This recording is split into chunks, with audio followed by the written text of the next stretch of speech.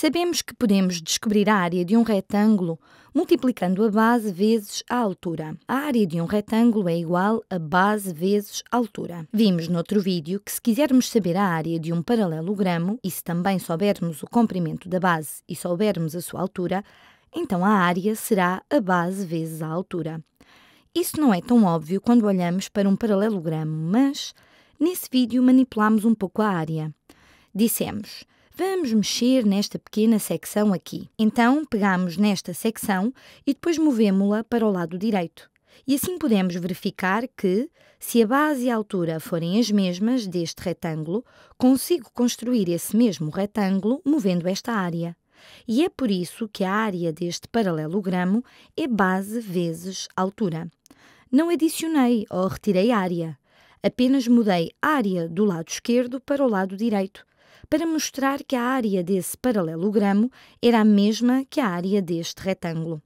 Continuará a ser base vezes altura. Então, espero que isso vos convença de que a área de um paralelogramo é base vezes altura. Porque agora vamos usar essa informação para intuitivamente descobrirmos a área de um triângulo. Vamos olhar para alguns triângulos. Então, isto é um triângulo e dão-nos a base e a altura e vamos tentar pensar qual será a área deste triângulo. E podem imaginar que será dependente da base e da altura. Bom, para pensarmos nisso, deixem-me copiar e colar este triângulo. Então, deixem-me copiá-lo e depois colá-lo. E o que vou fazer é. Então, agora tenho dois triângulos destes, portanto, isto agora terá o dobro da área. E vou rodá-lo. Vou rodá-lo desta forma e depois adicioná-lo à sua área original. E veem que está a acontecer algo muito interessante. Acabei de construir um paralelogramo. Acabei de construir um paralelogramo. Isto tem o dobro da área do nosso triângulo original, porque tenho aqui dois triângulos originais. Viram-me a fazer isso?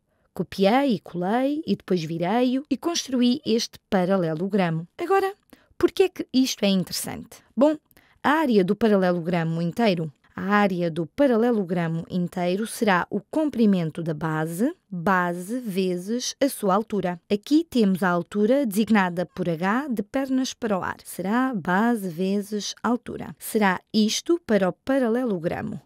Deixem-me desenhar aqui um paralelogramo. Isto será a área do paralelogramo inteiro. Então, qual será a área do nosso triângulo original? Qual será a área do nosso triângulo original. Bom, já vimos que a área deste paralelogramo é o dobro da área do nosso triângulo original. Então, o nosso triângulo original terá metade da área.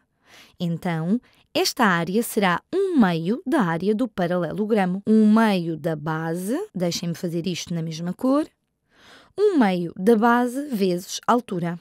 Um meio da base vezes altura.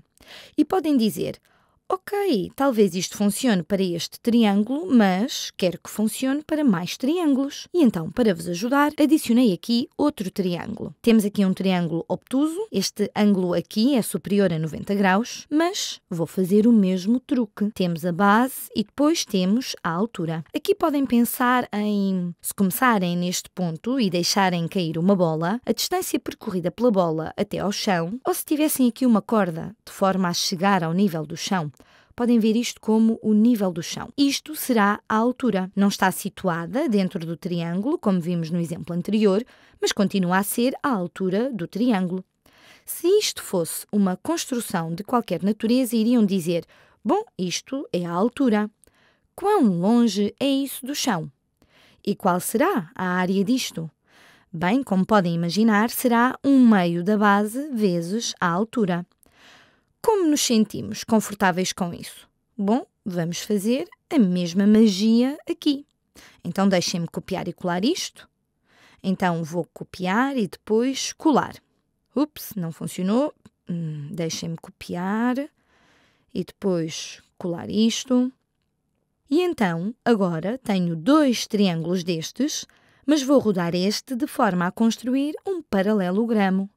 Então vou girá-lo e movê-lo para aqui, tendo que rodar mais um bocadinho Então acho que estão a perceber a ideia. Agora, construí um paralelogramo que tem o dobro da área do nosso triângulo original. Tem o dobro da área do nosso triângulo original. E então, se falasse na área do paralelogramo inteiro, isso seria a base vezes a altura do paralelogramo. Base vezes altura do paralelogramo. Mas, se estamos apenas a falar da área do se estamos apenas a falar desta área aqui, que é o nosso triângulo original, será metade da área do paralelogramo, então será um meio disso. Então, a área do nosso triângulo original é um meio da base vezes a altura. Espero que isto vos faça sentir confortáveis com esta fórmula que vão ver na geometria que a área de um triângulo é um meio da base vezes a altura, enquanto que a área de um retângulo ou de um paralelogramo será a base vezes a altura.